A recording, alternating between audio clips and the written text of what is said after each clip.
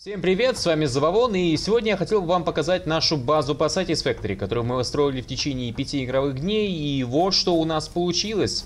Сразу говорю, что она не претендует на какие-либо лавры, и это только начальный вариант, поэтому давайте рассмотрим ее немножко детальнее в этом не очень большом видео. Итак, в основном все питание у нас идет от сжигателей твердого топлива, которые располагаются здесь. Нам, естественно, стало мало двух стандартных комплектов, мы построили еще больше. Между собой это мы называем бернеры. Соответственно, они нам поставляют основное количество необходимой энергии. Но а, за нашей базой располагаются две точки, которые добывают уголь. Поэтому угольная энергия у нас в достатке. Но к ней мы вернемся несколько позже. Давайте рассмотрим всю базу немножко подробнее. Итак, с этого прекрасного вида мы видим нечто зеленоватое. На этом зеленоватом конвейере мы производим твердое топливо для питания вот этих вот красных прожорливых ребят бернеров и соответственно для всего, что может питаться от твердого топлива. Разворачиваемся на 90 градусов и видим синие постройки. Что же добывает этот синий конвейер? Здесь у нас производится известняк. Как и половина предметов на нашей базе, он не особо проапгрейжен, и поэтому пока что производит стандартные значения, которые он выдает по умолчанию. В будущем мы собираемся это все дело апгрейдить, Поэтому все верстаки, все крафтилки, все бурилки будут работать у нас очень быстро. Весь известняк добывается и отправляется прямиком на склад, но на него мы зайдем позже.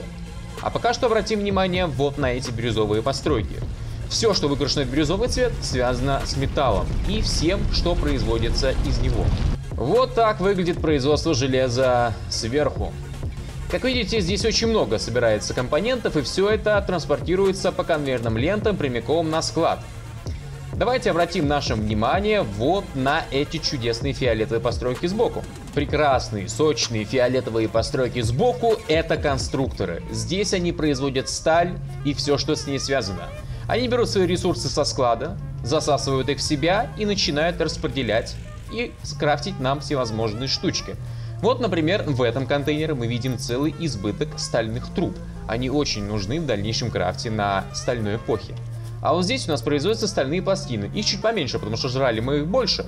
Но тем не менее, их тоже в достатке, и они тоже производятся. Идем дальше. От прекрасного фиолетового завода переходим к зеленым конструкторам. Что же они делают? Они делают металлические укрепленные пластины, а также все, что связано со вторичной переработкой металла. Как обычно, они берут все свои ресурсы вот именно с нашего гигантского склада, после чего делают необходимые нам вещи и возвращают их в готовом виде обратно. Просто и удобно. От прекрасного зеленого конструктора мы переходим к добыче меди. Тут мы себе делаем провода, а также некоторые другие компоненты, которые тоже направляем на наш любимый склад. Кстати, обратите внимание, что здесь у нас очень много цветных лент. Они у нас подрисованы для того, чтобы разбираться в ресурсах и особо не путаться. Кстати, добро пожаловать на склад. Здесь контейнеры и определенные конвейеры имеют каждый свой цвет. Оранжевый это медь, бирюзовый это сталь, ну и все в таком духе. Система распределения простая. Сначала конвейер закидывает все наверх, а затем, как только контейнер заполняется, он скидывает все свои ресурсы вниз, в нижний конвейер. Для того, чтобы нам не нужно было лезть наверх, мы сразу подходили вниз и забирали то, что нам требуется. Заполненный конвейер снизу перестает заполняться и начинает заполняться верхний. Итак, по цепочке. От чудесного склада переходим дальше. И на повестке дня у нас угольная добыча. Давайте возьмем машину и сгоняем на угольное производство. Итак, перед вами наш гараж. Он находится недалеко от нашей базы, и по последней вышке можно понять, где это все.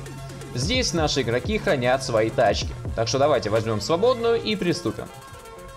Выезжая из гаража, сразу едем в сторону нашей основной достопримечательности, это космический лифт.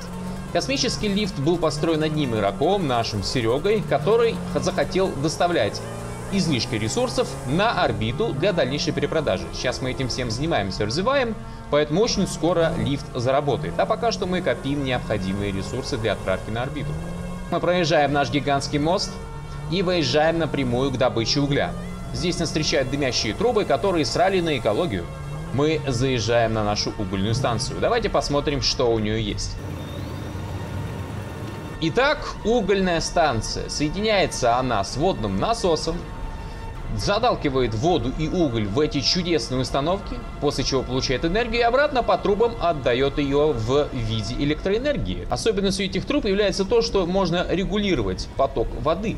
Поэтому мы можем получать разное необходимое количество энергии. Кстати, сама добыча угля находится вот на этом чудесном лифте, который добывает ее чуточку выше, прямо из скалы. Замечательная угольная станция. Как здорово, что у нас их несколько, и давайте сгоняем на еще одну, которая находится недалеко от нашей базы.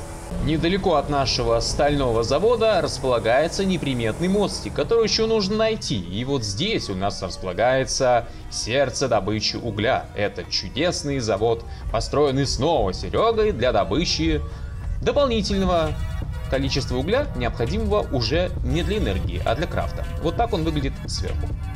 А вот так этот чудесный завод выглядит вблизи. Как видите, здесь все довольно технологично, все подключено к основной электросети, поэтому добыча идет без проблем. Все, что добывается, отправляется вверх по лифту, конвейеру и затем направляется часть на склад, а часть на производство. Итак, мы осмотрели все основные постройки нашей основной главной базы. Но у нас есть множество филиалов, поэтому давайте мы посмотрим, что располагается у нас вон в той долине и сгоняем прямо туда. Здесь нас встречает многофункциональный комплекс, который добывает дополнительное количество всевозможных ресурсов, но пока что никак не связан с основной базой и является автономным источником. Сюда многие наши игроки приходят с той целью, чтобы покрафтить как можно быстрее, не отправляя свою тушу на основную базу, так как это все-таки далековато. Давайте зайдем на эту факторию и посмотрим, что же здесь производится. В основном это снова железо и все производные из этого материала. Чуть дальше у нас находятся станции коллекционирования этого лута, различные конструкторы, печки, добытчики, Чуть ниже располагается добыча известняка, чуть дальше располагаются еще одни фактории по производству всевозможных ресурсов. Ну что ж, мы снова встречаемся около космического лифта и обращаем свое внимание на гигантскую трассу в небо. Это наш первый проект по созданию отдаленных баз для добычи уникальных ресурсов и транспортировки им прямо на склад. Помимо этой дороги мы строим высокоскоростную трассу для быстрого перемещения не только на своих двоих, но и на четырех колесах. Поэтому эта трасса, по которой мы сейчас едем, самая первая. Она еще не завершена, однако на ней уже есть разметка и по ней уже можно спокойно гонять, не боясь куда-либо упасть. В будущем здесь будет наведен марафет, провода будут пущены как надо, лотки будут чуть выше, чтобы машины могли размещаться по двум полосам движения.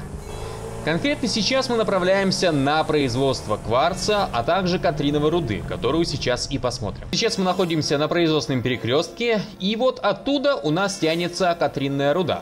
Туда мы еще скатаемся и посмотрим на местный завод. Из катринной руды мы получаем разные катринные проводочки, которые используем для крафта хитроумных механизмов, без которых очень трудно представить наше развитие. А вот прямо здесь у нас находится кварцевый завод. Считается, что это высокогорье, поэтому мы добываем самый высокий кварц в этой игре. По крайней мере, мы хотим в это верить. У нас разветвленная станция производства, здесь мы не только добываем, но и перерабатываем этот кварц, после чего направляем пока что по одной несовершенственной ленте все возможные изделия из этого самого кварца.